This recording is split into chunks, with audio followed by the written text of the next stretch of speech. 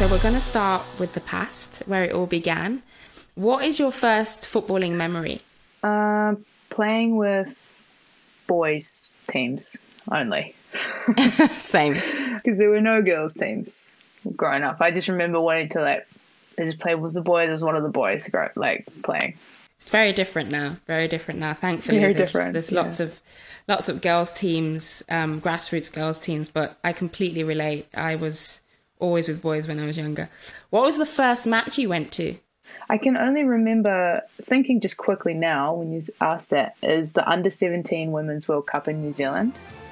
I can't remember any other games before that that really stuck out, but I remember because I um, tried to make that squad. I was 16, I think.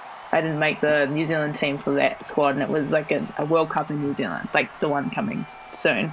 And I remember feeling like so gutted and watching those games. Like, Oh mm-hmm. wow, yeah. but that to the point for me was like I'm gonna make the next team, like the under twenties, and that's when I made. That's when I was able to start my journey playing for New Zealand. But that was one where I was like so disappointed, but then it just drove me forward. So Amazing.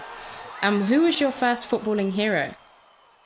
oh, Maia Jackman, because she, was a um, one of the older football ferns when I made the team young. She was playing. She was just one of the veterans, but she was on all of the posters, like New Zealand football posters everywhere, and so. I think that was every like I think a lot of my teammates who are my age in the in the ferns now would say the same as Maia Jackman. I, I understood from from Eni that the haka is very very popular in New Zealand. Of course, it's very traditional. So I don't know if the haka is your pre-match ritual or you do something else.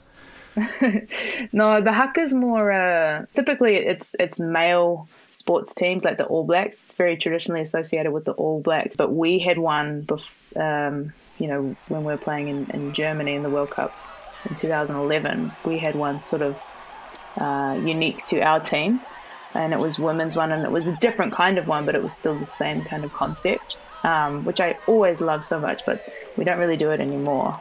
Okay. Um, but no, I don't do any of that before anymore.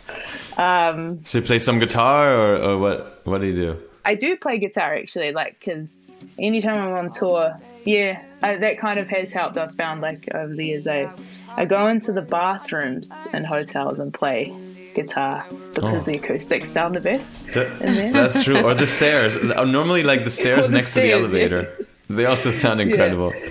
There was uh, one tour we were on. Um, my teammate Erin Nayler can sing, so we did a lot of that, like just messing around, just you know, just to you know, it's just so enjoyable and it helps you like calm down. I don't know, we just did that. Uh, we found um, we went down to the pool in uh, we're in America, we're playing the US, and there was a basement pool. And it sounded so good in there, so I was like, "I'm bringing the guitar down. Let's have a little like sing down here." it was so cool. Wow, I, that's super cool. You should have brought the microphone and recorded something directly on there. I have a recording, I think, somewhere on a phone somewhere. But, oh, it was so oh, long man. ago, though. I love that. Yeah. That's amazing.